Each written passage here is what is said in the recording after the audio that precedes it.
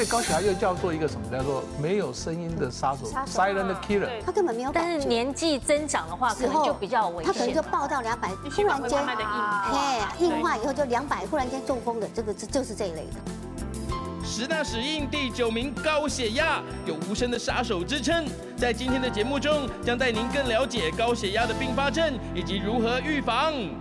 适合高血压的朋友是什么样子的运动啊？走路是最好，就是走路，嗯。哦，不要太激烈。其实走路是，你只要关节没有什么问题，走路啊，快走，稍微快点点走，那稍微有点汗出喘一点。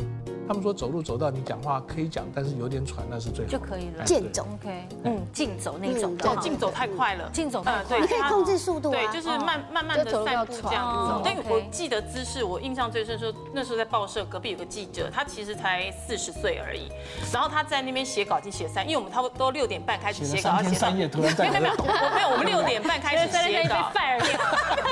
可是他对不起，我把他太太小看他了。他算是很，他算是很专业的一个一个社会记者。然后呢，他从我们六点半就要开始进去报社写稿，然后写到十点，然后截稿。好，他就在那边一直写，他写中途也没起来上厕所。写稿截稿十点之后，他他起来的时候，啪掉下去了，这就是姿态，他就中风了，姿态对，马上中风。所以他就这是姿势是因为一直不屌哎，一直打边打边这样子，所以就是很建议说，至少你在。呃，几分钟、一个小时之后，要稍微伸展一下，伸展一下嘛，对，把自己稍稍微不过那个可能不是高血压的问题，他可能有那种中风。那这个事实上，瑞婷讲的很好。我们因为坐着或是什么时候，他血都是在下腿部或下部，对不对？因为他即便站起来的时候，他还没有反应，告诉他说：“哎，我要站起来了，血压要打高一点。”所以如果你血还是只打到这里，你看看你上面一段就空了。所以事实上，这个时候就没事的时候要脚动一动啊，身体动一动，然后再起来会比较好。是好，那饮食习惯的部分，刚才伊利也稍微提其实饮食真的还蛮重要，因为其实盐分的摄取啊，如果你真的是属于吃比较重咸的，再加上你又蔬菜吃的比较少的这种人，嗯，通常哈，如果说以有几个族群啊，比如说像小朋友的话，通常会发生在比如说饮食里面，他喜欢吃零食、洋芋片、饼干的。那中年人通常都是发生在外食人口，因为外食你几乎吃的都是都是咸的东西，因为调味的部分，烹调要好吃都是咸的部分。那老人家通常是发生在所谓的酱瓜啊、腌制品啊，哦，还有一些人喜欢，有些老人家饭后喜欢吃一点蜜饯啊这一种的。导入，对，这个都是哎导入，这种都是盐分比较高的，因为他觉得要开胃嘛，对，都有硬皮亚啦。对对对，有些老人家本来口味，其实有老人家口味其实也不能怪他，因为他其实他本来他在那个嘴巴的对味那个那个触觉味蕾上面，他本来就老化退化，所以他基本上他煮的东西，尤其是像刚刚讲那个更年期的妈妈，她常常哦煮菜很咸，可是自己都不知道，对啊，对，然后家里面人就会觉得，哎，妈妈怎么好像最近手艺口味变咸，对。呀，哎，你看我太太好像最近也这样，对，他加盐巴会加的说，对，所以其实他说我没有加盐巴，我只是我改成几罐个豆腐乳来，太干呐，然后里面就有那。这讲起来，就我宁可提早，比如说我在现在我就养成清淡饮食了，那至少我在到了更年期之后，不管男女，我的饮食是不会有太多的改变。那我说，哎，淡一点也是 OK 的，对自己身体都很好。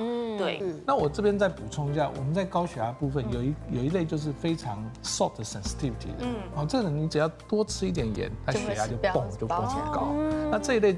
其实治疗很简单，嗯，你就叫限盐少盐，嗯，哎，搞不好血压就降的比吃药还好，对对对。但当然你要去试它，就是说，哎，是不是对这个盐的反应性很高？OK。所以这一类在以理他们在营养师在饮食的调整因为其实我们一般健正常人哦，正常建议一天是六克的六克的盐巴，可是我们现在统计出来结果，我们一天一般正常人吃大概都是十二克到十五克，对，都是两倍再多了。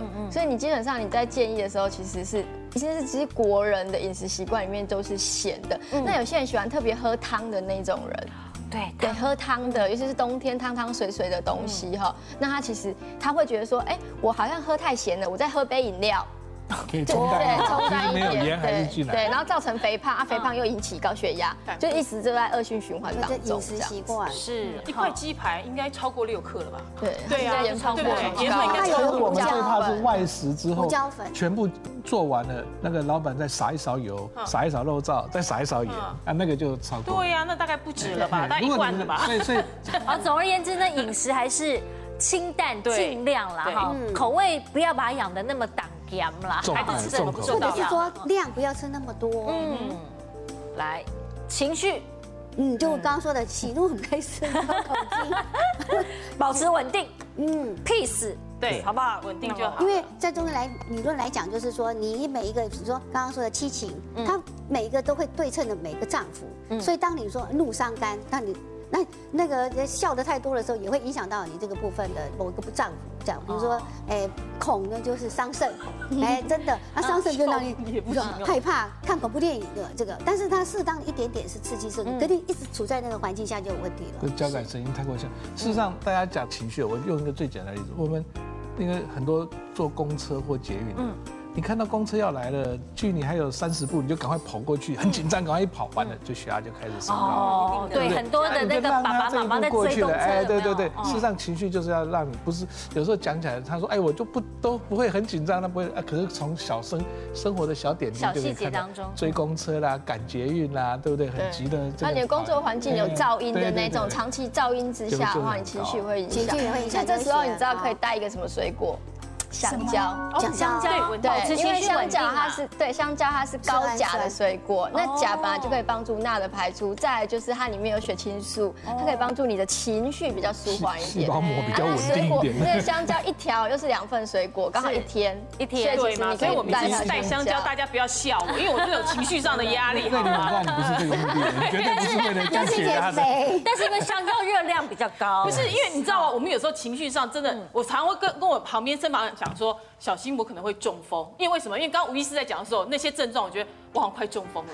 对，就是因为情绪上的压力会造成你血压突然会变高的原因。对，好，所以带两根香蕉没有错，好吗？嗯，好，所以情绪哈管控自己也要留意。好，再来新陈代谢的部分，当然新陈代谢越不好，越容易不是像我们甲状腺亢进的啦，哈，比较积积极的、激动的啦，哎，这个新陈代谢，这它也会影响到。注意是在讲我了，你 看，哎对。比较嗨的啦，对不对？或者是吃减肥药吃的就那个 新对陈代谢你讲的甲亢我也有啦，情绪上我也有啦，对啊对，啊所以我是是危险因素很多的。危险因子很多。对哦那我要情绪哎那请问你平常是怎么样保养的？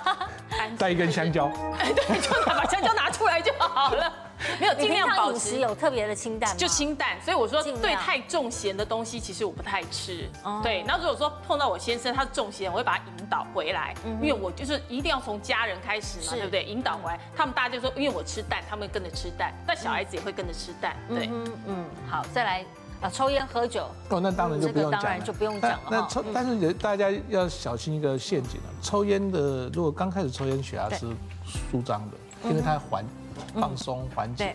可是长期来，尼古丁还是会要让血管收缩的，慢性的之后，所以这很不好。